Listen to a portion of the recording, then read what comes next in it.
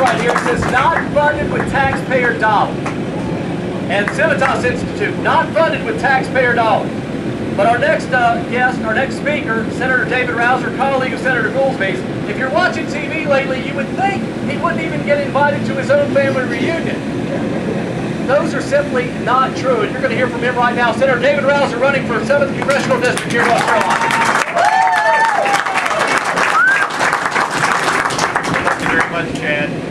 Pleasure to be here with you. And, uh, you know, my grandmother has seen some of those ads. She called me. She said, David, how can they do that? I said, well, grandmother, it's just politics. And, that, that's the truth. There are going to be a lot of ads out there. But that's not why I'm here today. Why I'm here because of this bus right here. Not the bus literally, but what's, on, what's printed on this bus. I was sitting here looking over this a few minutes ago. Saving the American dream.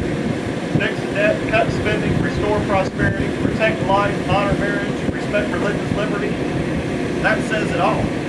If we get back to the founding principles, the moral and spiritual principles that this country was founded on, that is how we're going to turn this country around. We've gotten so far away from that as a country. You know, my time with Senator Helms, one of the stories, and this was the first place I ever heard this story, and it should be taught schools all across America, was the story of Ben Franklin right after the Constitutional Convention. He walked out, and the lady tugged him on, on the uh, on the sleeve, on the coat jacket, and she said, Dr. Franklin, what have we got? A monarchy or a republic? And he said, my dear lady, we have a republic if we can keep it. That needs to be taught in every single classroom all across this country. People wake up every morning and they think what we have here in this country is going to be here forever. We take it for granted. You know, my experience, uh, the reason why I got involved in politics, I was over in, in Prague, the Czech Republic. I was in a program, 60 students, 10 of us from America, 50 from the former communist bloc. My roommate was from Romania This was summer of 94, they lived their entire lives under tyranny. He looked at me, and he teared up, and he said, David, he said, you folks in America, he said, y'all won't have a clue. Take what you have for granted. He said, we were taught deaf to America in the schools. He said, but yet in our hearts, we long to get to America. When Ronald Reagan stood in front of that wall, Berlin Wall, and said, Mr. Gorbachev, tear down this wall. He said, our hearts left for joy. Now that's real leadership. Real leadership, folks who have the have the moral courage to go out and to proclaim what may not necessarily be popular, but what's right.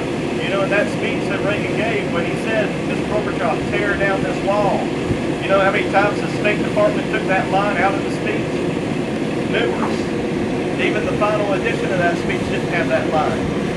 But thank goodness for Ronald Reagan, he wrote it back in. That's moral courage. That's what we got to have today to turn this country around. And so that's why I appreciate each of you being out here this afternoon. Your participation this afternoon signifies your interest and your commitment to turning this country around, getting back to the moral and spiritual principles that made this country great.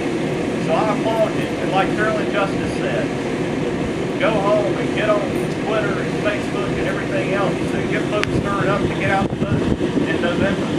This election, and I know it's said every but I think you and I both feel it. This election is the most critical one this country has ever faced. It's just like Carolyn said, this is going to determine what kind of country we have. We're going to either take the path of more spending, more debt, and economic disaster, or we're going to take a very different path of a much more limited government, less spending, and economic prosperity. And along the way, let's keep in mind those values, protect life, honor marriage, respect religious liberty, because if we don't have those, we don't have anything. May God bless you and God bless America. Thank you.